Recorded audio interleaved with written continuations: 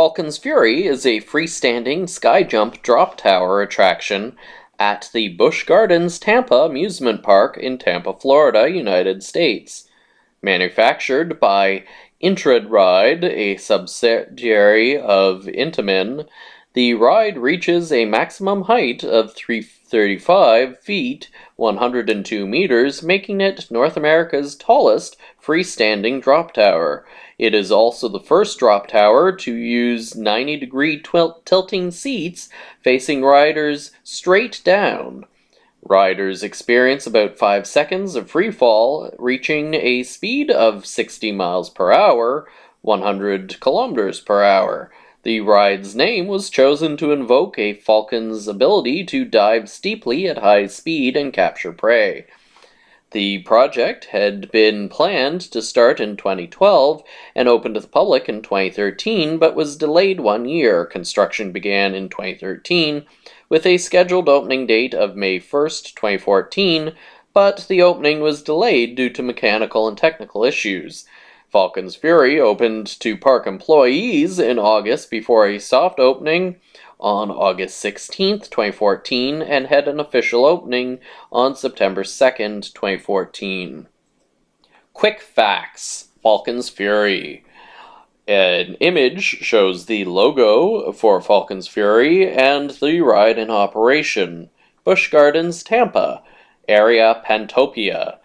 Status operating. Cost 5 million to 6 million dollars US. Soft opening date August 16th, 2014. Opening date September 2nd, 2014. Replaced Sandstorm. General statistics. Attraction type Drop Tower. Manufacturer Intamin. Model Skyjump. Theme Falcon. Height 335 feet or 120 meters. Drop 310 feet or 94 meters. Speed 60 miles per hour or 97 kilometers per hour. Site area 3,600 square feet or 330 meters square. G-force 3.5. Capacity 800 riders per hour. Vehicles 1. Riders per vehicle 32. Duration 2 minutes. Height restriction 54 to 77 inches. 137 to 196 centimeters. History A photo shows Falcon Fury's tower. Planning for Falcon Fury began around the time the park completed its cheetah hunt ride in 2011. Ground tests in the Timbuktu area, now known as Pantopia, revealed interesting soil conditions, with steel beams and concrete required to reinforce the site. Rumors that Busch Gardens Tampa might replace its Sandstorm ride with a 200 foot, 61 meter drop tower surfaced in the fall of 2011 when its sister park, Busch Gardens Williamsburg, opened Mach Tower that August. Construction surveying was observed in January 2012. Two months later, plans were filed with the city to build Drop Tower, possibly for the 2013 season. Speculation about the new attraction's name began when SeaWorld Parks and Entertainment, owners of Busch Gardens Tampa, filed trademark applications for Desert Dive and Falcon's Fury on May 2nd and July 11th, 2012, respectively, and bought the, uh, bought the DesertDive.com domain name.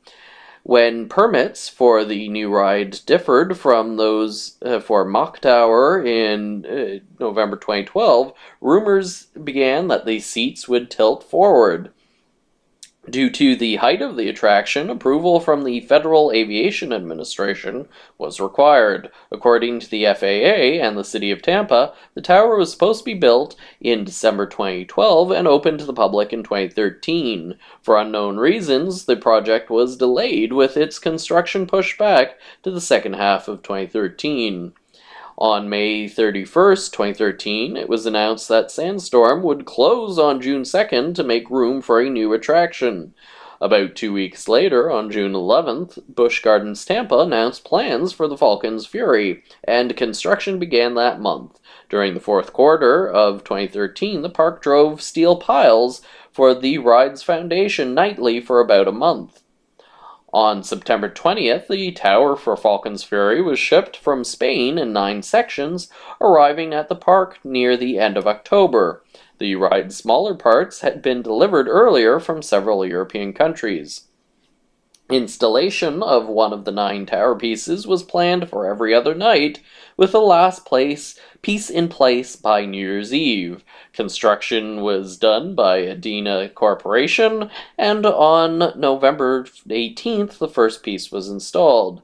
The ride's second piece was installed December 2nd, and two more were installed December 6th. The fifth section was uh, placed by December 21st, and the sixth was erected by New Year's Day.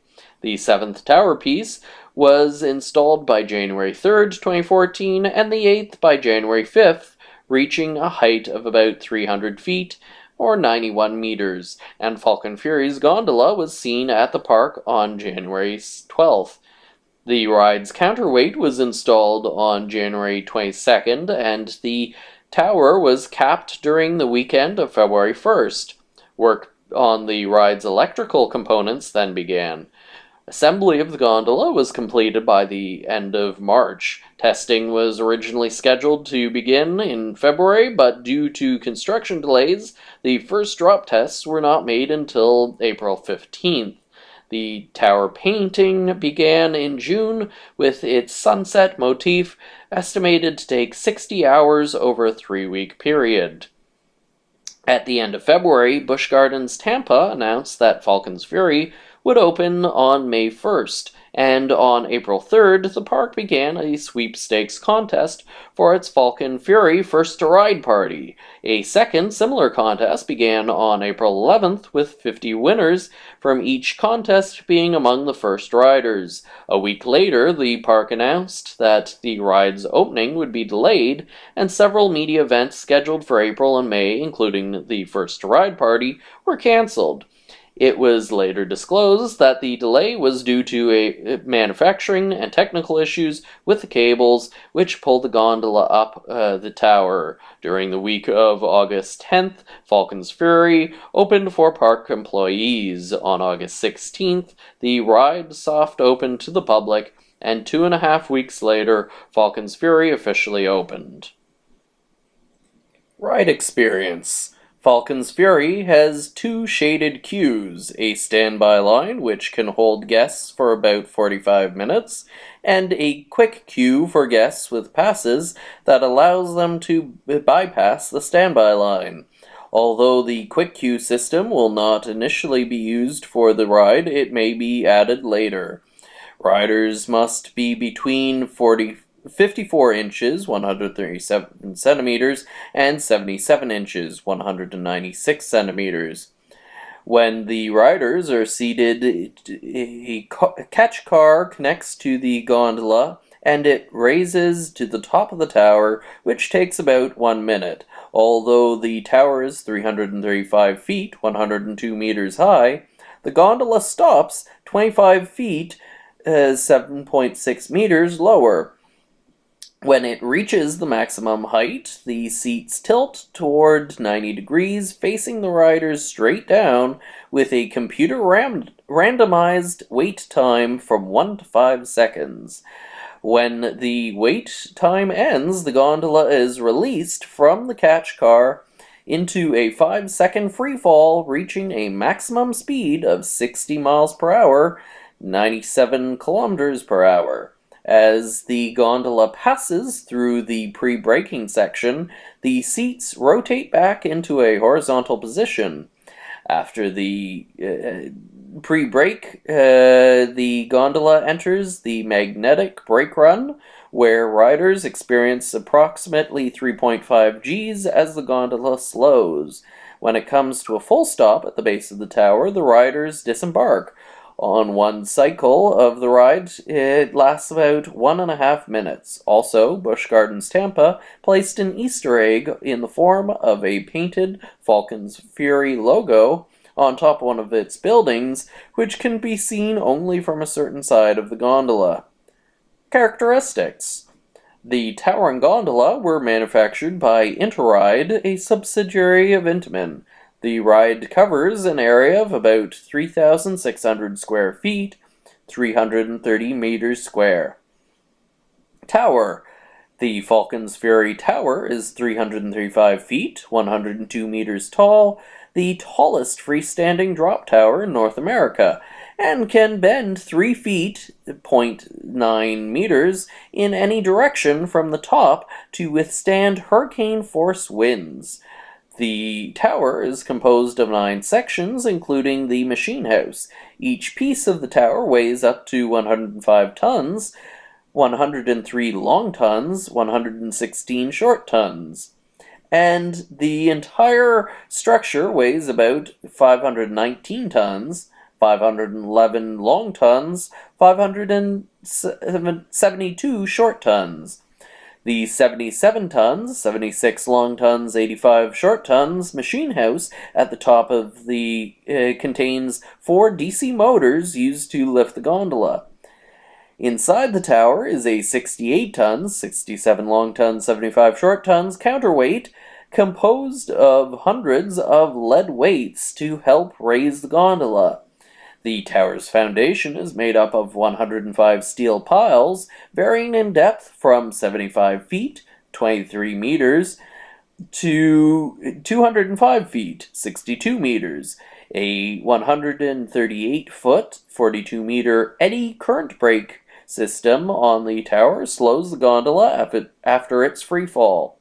The structure is painted yellow, aqua, and two shades of red. Gondola. A photo shows one of the ride's eight groups of seats. The ride's single gondola has 32 seats grouped octagonally around the tower. One of the eight sides seats four riders, and each seat has an over the shoulder restraint and seatbelt. Falcon's Fury can theoretically accommodate uh, 800 riders per hour. Carbon fiber wings buttress each end of a group of seats, protecting the outside rider's arms and legs during the drop. The gondola reaches a height of 310 feet, 94 meters, 25 feet, 7.6 meters below the top of the tower. When it reaches its maximum height, uh, the seats tilt 90 degrees forward with the riders facing the ground. First, this is the first use of this feature on a drop tower. Records when Falcon's Fury opened, it became North America's tallest freestanding drop tower. Although the drop, taller drop towers exist on the continent, such as Lex Luthor Drop of Doom at Six Flags Magic Mountain and Zumanjaro Drop of Doom at Six Flags Great Adventure, which reach heights, drop heights of 400 feet, 120 meters, and 415 feet, 126 meters, respectively, those attractions were added to existing structures. Despite its height, the ride's maximum speed of 60 miles per hour, 97 kilometers per hour, does not set a speed record. Other drop towers, such as Drop Tower at King's Dominion, which reaches 72 miles per hour, 116 kilometers per hour, are faster. However, Falcon's Fury is the world's first drop tower whose seats tilt 90 degrees. Although tilting seats were first used by Intamin in 2001 on Acrophobia at Six Flags Over Georgia, their tilt angle is smaller. Reception the initial reception after the ride's announcement was positive. According to Lance Hart, a theme park enthusiast from Screamscape, quote, instead of selling your picture, they should sell baby wipes and clean underwear at the exit, end quote. And the ride would be the most frightening drop tower in the world. The Robb Alvey of Theme Park Review called the ride the world's best drop tower, later ranking it one of the top 14 new attractions for 2014.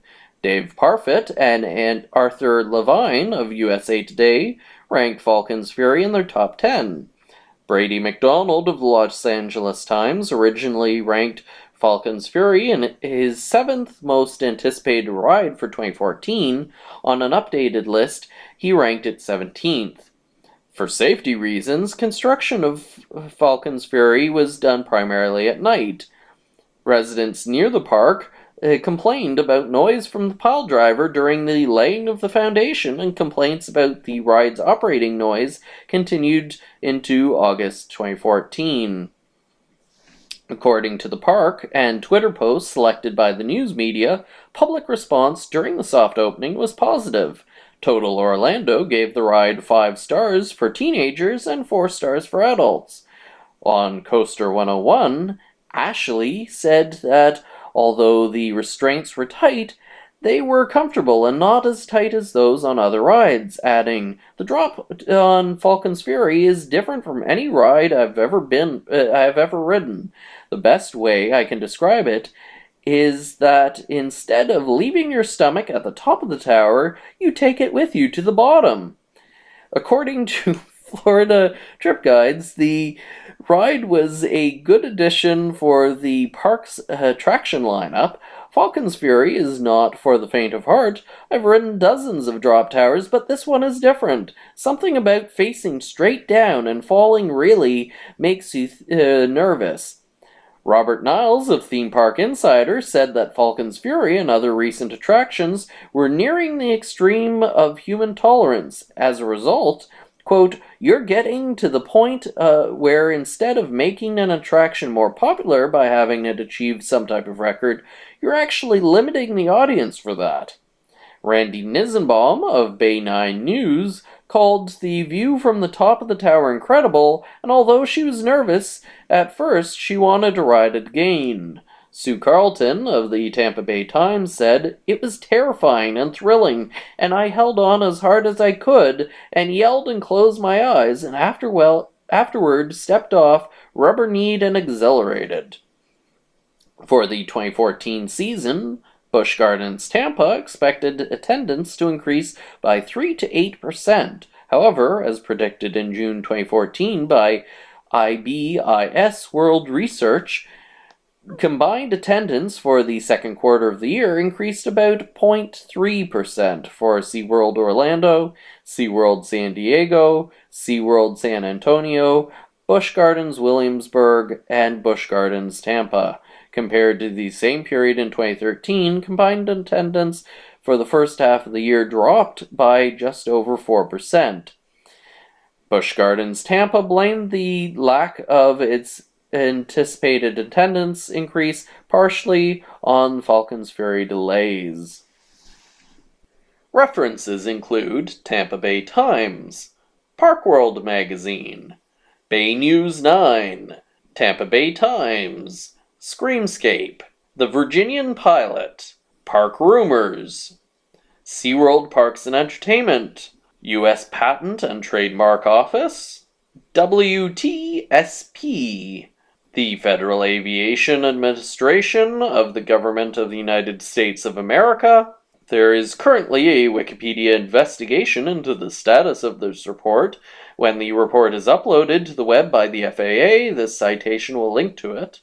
Project 380286 permits 1 and 3 the City of Tampa. Associated Press is posted on ABC News.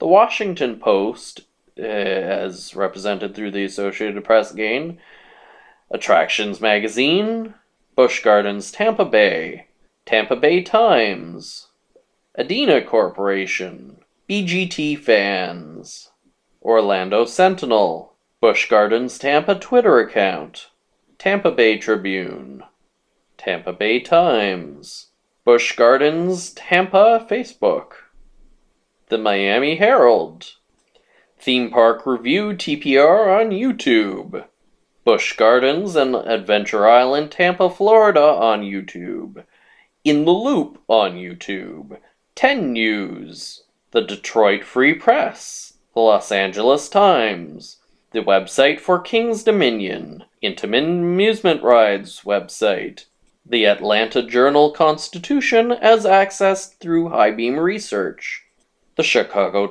Sun Times as accessed through Highbeam Research, The Morning Call, Screamscape account on Twitter, Park Theme Park Review account on Twitter, Hottest Amusement Park Attractions 2014 on Travel Channel website, WTSP, WFLA, Total Orlando, Coaster 101, Florida Trip Guides LLC, Bay News 9, New York Post, Seeking Alpha. External links uh, point to Falcon's Fury official website.